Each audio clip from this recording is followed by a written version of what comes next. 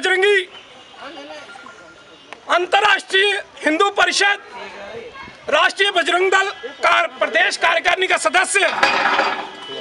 हमारा आज का विरोध प्रदर्शन, जैसे कि कश्मीर में आज आतंकवादी बुरान वानी की बरसी बनाई जा रही है। वो कोई सेलिब्रिटी नहीं था। वो एक देशद्रोही आतंकवादी था। जिसने सैकड़ों अपने आर्मी पैरामिलिट्री फोर्सेस और पुलिस के जवानों की हत्या की थी।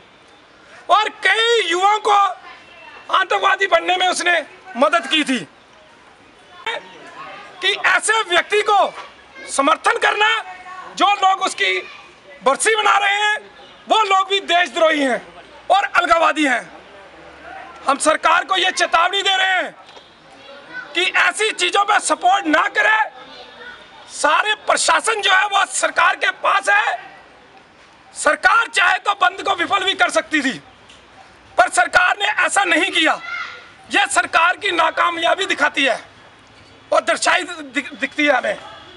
उसके अलावा एक युवती और तीन युवकों का उसने नाम बताया है। यह भी सरासर प्रशासन की नाकामयाबी को दिखाता है कि किस प्रकार से दबाव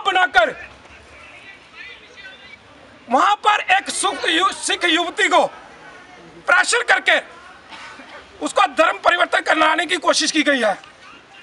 जबकि वो लगातार मीडिया में आके उसने यह बयान दिया है यह सरासर सरकार की जो नाकामयाबी है वो दिखाती है कि किस प्रकार से वहाँ के लोग हावी हो रहे हैं। चेतावनी दे रहे हैं कि सरकार संभल जाए सुधर जाए।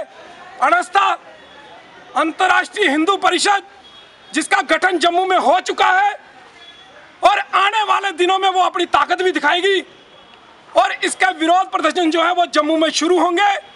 इसलिए सरकार संभल जाए, वरना हमें एक आंदोलन को आगाज़ करना पड़ेगा जो पूरे देश में इसका आगाज़ होगा।